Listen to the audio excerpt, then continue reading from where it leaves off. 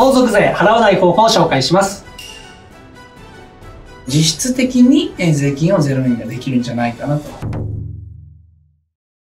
こんにちは、税理士の永井です。今日は投資家の早尾さんと一緒にお届けします。よろしくお願いしよます。ろしくお願いします。はい、えー、ということでですね、えー、相続税を払わない方法なんですけど、はい。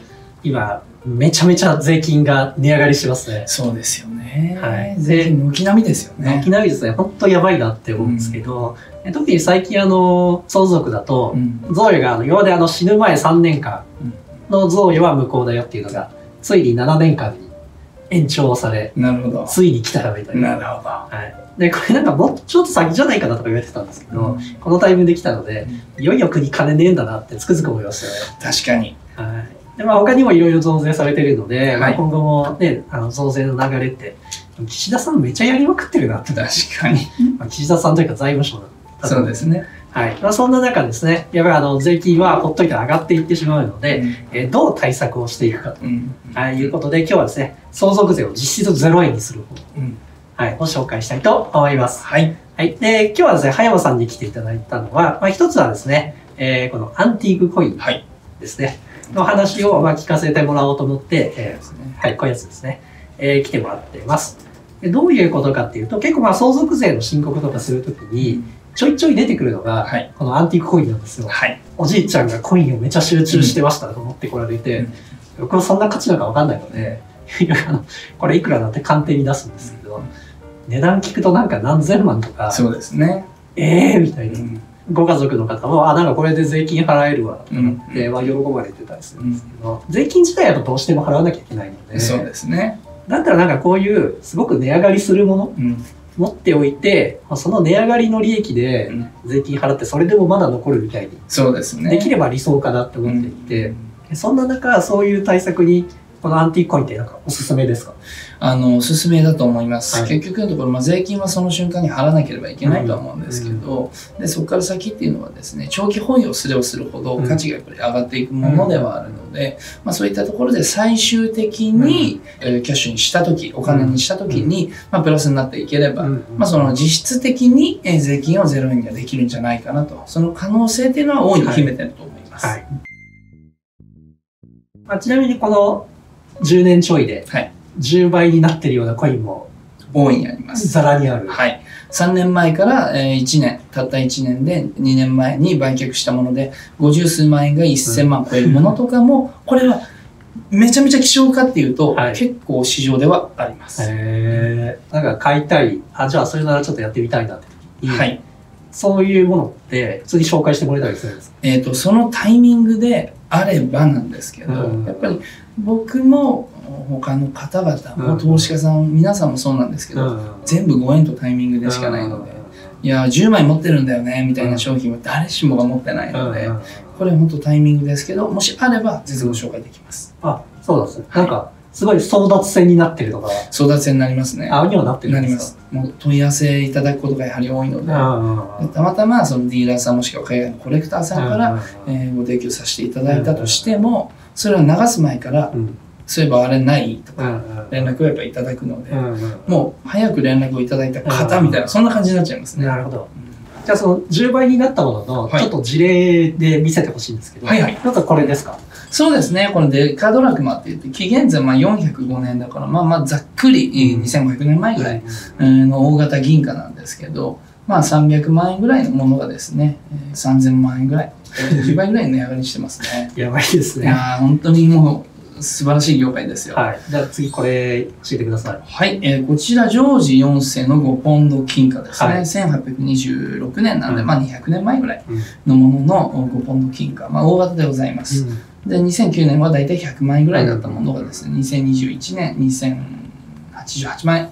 まあ約20倍の値上がり。すごいです。うん、これそう12年。相続税払えちゃいますね。そうなんですよ。これ12年です。100万円ぐらいでやれるなら、なんか100万円ぐらいならいいかな、そうですね。ただやっぱこの5年で、今まで100万円ぐらいで買えてたものが、2、300万円になっちゃってる。な。100万円の部分がちょっと薄くなっちゃってるなっていう印象ありますね。まあ、でも2、3まあ、財産のうちの2、300万そうですねとか入れるみたいな、いいですよね。いいと思いますね。はいでこちらのコインが、えーこの業界で一番有名なうん。ビクトリア城の5ポンドうん金貨のウナライオンうん。というコインですね。これもまあ約200年前に発行されたもので、まあ、2009年150万円だったものが2021年にうんまあ1億5000トンで28万円、まあ100倍の値上がはい。り10人ですね。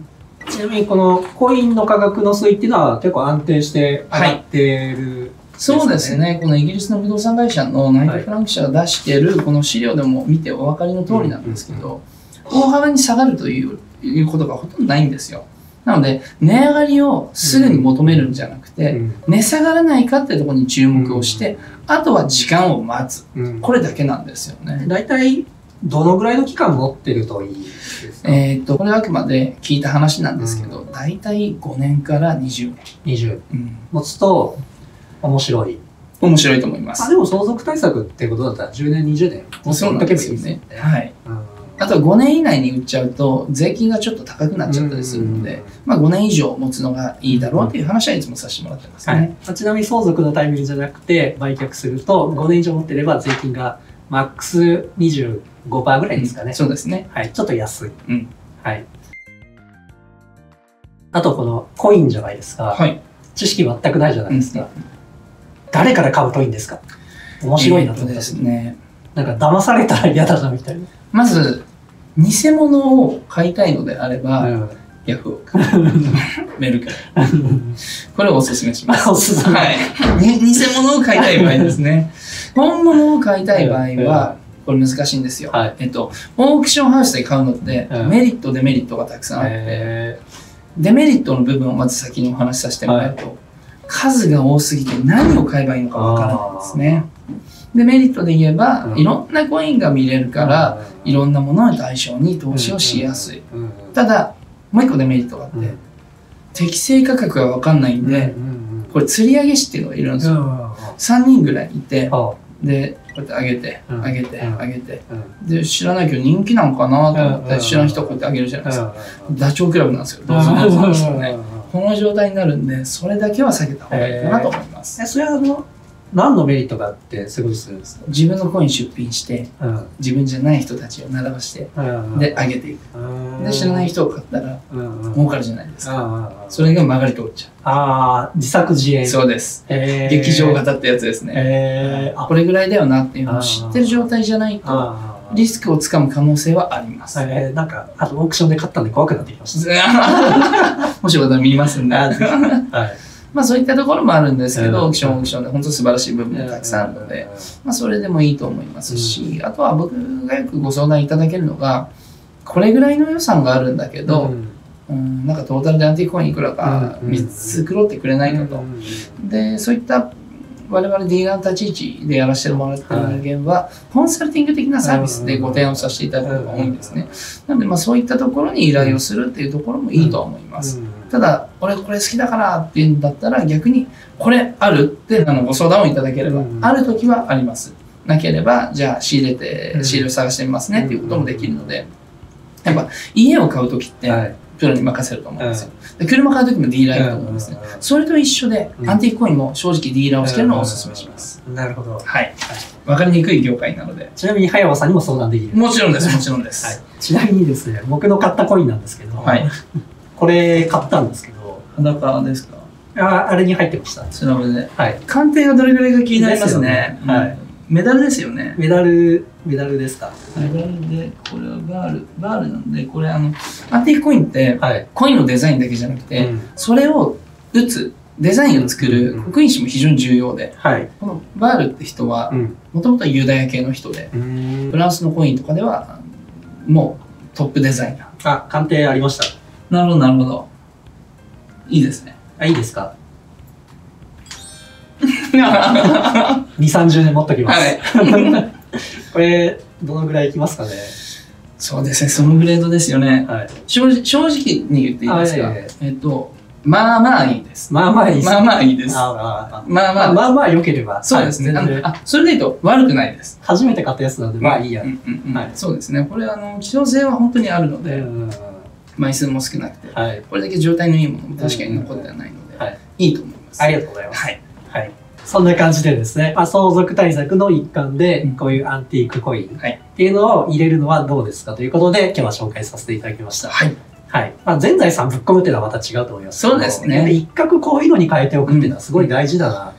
そうですね、ポートフォリオの一つの,、うんあのバランスを取るっていう意味ではめちゃめちゃいいのかもしれません。うんあと面白いですしね。面白いです。こんなの持ってる？そうなんですよ、は一番危ないのが好きで売りにくいっていう。ああ。コレクションになるっていう、これもあるのでね。まあ、それはそれで別に余剰資金の中であればっていうところだと思うので。あとあれですよね、最近まあついにやっぱインフレになってきたんで、そうですねまあ銀行に入れといてもうんむしろ減ってきますし、そうですね。銀行に入れといても何にも嬉しくないですけど、そうですね。家にあるとちょっと嬉しいですもんね。確かに、本当にそうですよね。うんそれは大きいと思います。はい。まあそして税金対策にもなってしまうと。まさに。はい。ということで今日は、えー福岡から、はい。はい、お越しいただきありがとうございます。こちらこそありがとうございました。はい、えー、ということで今日の動画は以上となります。えー参考になっている方は高評価とチャンネル登録お願いします。ありがとうございました。さようなら。さようなら